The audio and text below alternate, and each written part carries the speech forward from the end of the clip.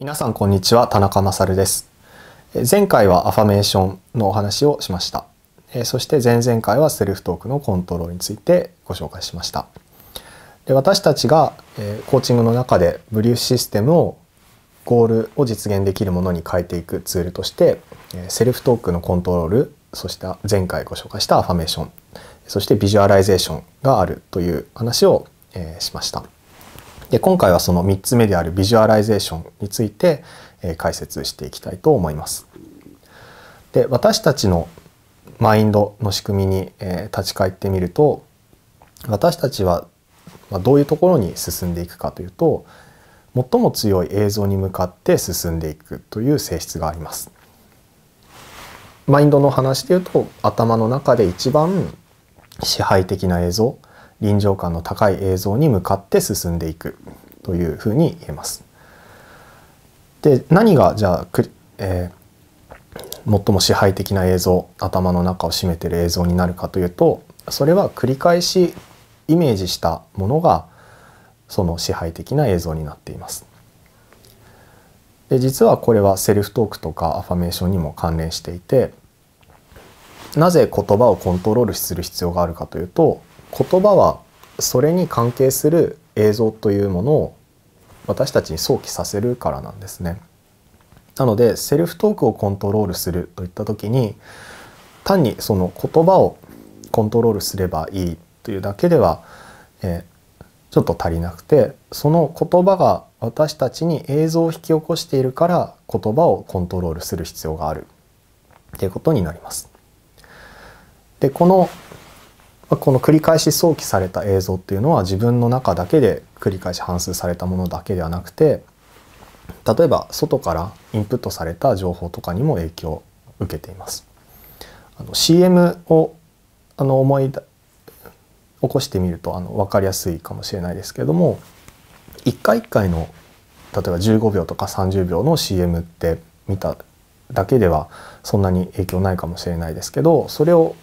こう日々繰り返しテレビとかあるいは今であれば動画のサイトとかで見ることによって私たちはそれを持っているその道具を使っているその商品を買っている映像っていうのを見るたびに無意識の中に蓄積していくわけですね。でそれが繰り返されることによってその、まあ、何らかの商品あるいはサービスを自分が手に入れてるっていう臨場感が強くなることによって私たちはその映像に向かって進んでいく。具体的にはその商品を購入するかもしれないですしそのお店とかに行ったりサービスを受けたいっていうふうにある意味こう無意識に進んでいってしまう。あるいは今であれば SNS で見たお店とかに行きたくなるっていうのもおそらく自分が検索したからだけではなくて繰り返しそういう映像とか写真っていうのに触れることによって私たちの支配的な映像が出来上がってるっていうことですね。で、まあ、そういうあの今はメディアの話を例にとりましたけれども私たちはそういう外部のものそして特にブリューシステムに影響を与えているのは過去の経験とか、えー、他人から言われた言葉そういうものに従って出来上がった映像っていうのが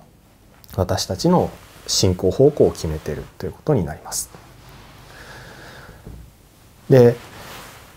あの、まあ、ルー・タイスがよく例に出すお話なんですけども自転車に、まあ、こうまだあの乗れるようになったばっかりの子に例えばお父さんとかお母さんが「あそこに石があるから気をつけて」そこに石があるからぶつかっちゃうよっていうふうに繰り返し言ってその子が石の方を見てしまうとちゃんとその石にぶつかってしまうんですね。でそれはあの避けよう避けようとしてってもその見てる方向に私たちは進んでいってしまう。で今はあの少し特殊な例かもしれないですけど私たちも歩く時とかやっぱりあの行きたい方向に見ながら歩いているわけですよね。でそういうある意味体の法則ともものすごくあの似たものだと思いますけれども私たちはやっぱり心の中とかマインドの中で見ているものに従って認識とか行動を決めてしまう無意識に向かっていく方向を決めているっていうことになります。でこの支配的な映像を決め変えるゴールにとって必要な置き換えの映像に変える方法としてセルフトークやコンアファメセルフトークのコントロールやアファメーションっていうのももちろん重要なものになりますが今回紹介するビジュアライゼーションも同様にその映像を変えていくための方法論になってきます。でビジュアライゼーションの場合は、まあ、アファメーションとも近い面はあるんですけれどもゴールを実現した時に自分がどういう環境あるいは自分がどういう姿なのかっていうのをしっかりイメージする。でそのイメージした時にどういう感情が湧き起こってくるかっていうその感情をしっかり体験する。でそれによって今まで過去の記憶によって出来上がっていた支配的な映像っていうものをゴールを実現した時の未来の自分の姿を、えー、臨場感を高めることによって未来の記憶を作っていくということです。で過去に基づいた過去の経験に基づいた記憶でもゴールを設定して繰り返しイメージしたことによって、えー、臨場感が高くなった映像にしてもどっちにしてもあまりマインドはその実際のものかどうかっていうのは気にしないんですね。まあ、最初にあの CM の話をしましたけど CM はまさに未来の記憶ですよね持ってないものを繰り返しイメージすることによってそれを持っている自分の臨場感が高くなっているということです。なので実は時間軸っていうのはあまり関係なくて今の自分のマインドにとって重要なもの、まあ、重要なものを決めている支配的な映像っていうのが私たちの行き先を決めているということになります。で実際の実践の中ではアファメーションの中にもあの言葉が入ってるかどうかという違いで実際ビジュアライゼーションが入ってるのでアファメーションが得意という方はもちろんアファメーションを軸に実践していくことによっても、えーと、映像が変わっていきます。でもものによってはその言語化することが難しいものとかっていうのはあのあると思います。なのでそういうものについては特にビジュアライゼーションを繰り返すことによってその状態を実現した自分の姿っていうのを自分の目線から一人称視点から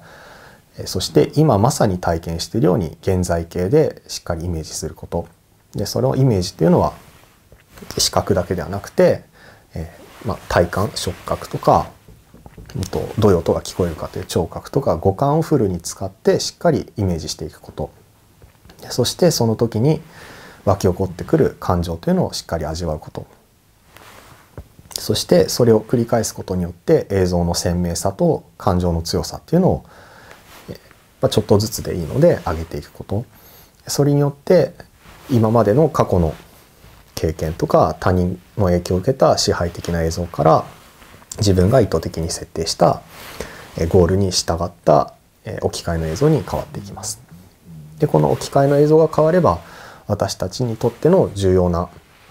ものの並び方重要性関数の出力というのも変わってきます。でそして私たちは自然とその映像に導かれるようにゴールの方に行動してしまうということになっていきます。ぜひセルフトークのコントロールそしてアファメーションと合わせてビジュアライゼーションも活用していくことによってゴールをある意味無意識に自然に実現できるようになっていくと思います。